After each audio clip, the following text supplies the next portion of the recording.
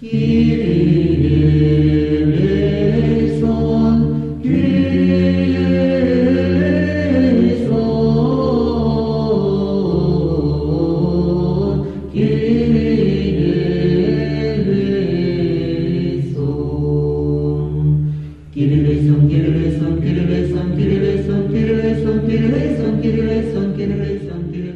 таинство иначе называется соборованием и совершается над больными для исцеления их от немощи душевных и телесных.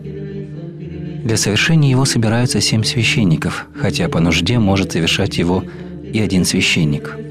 В блюде с пшеницей помещается небольшой сосуд с елеем, как знаком милости Божией, а к елею прибавляется красное вино в подражании милосердному самарянину и в напоминании пролитой на кресте крови Христовой.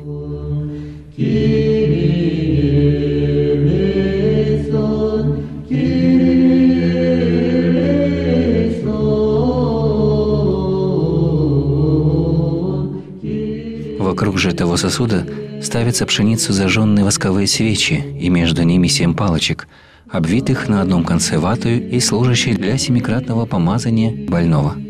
Всем присутствующим раздаются зажженные свечи.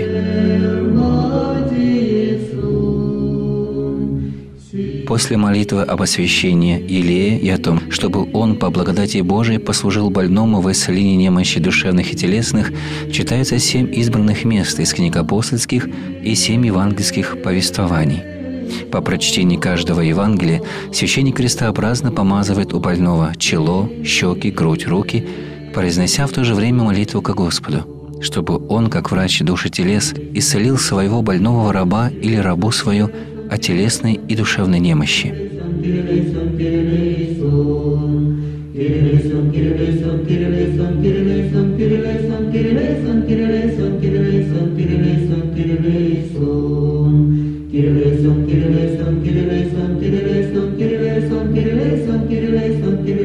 После седьмого помазания священник раскрывает Евангелие и, держа его письменами вниз, возлагает как бы исцеляющую руку самого Спасителя на голову болящего и при этом молит Господа о прощении всех его грехов.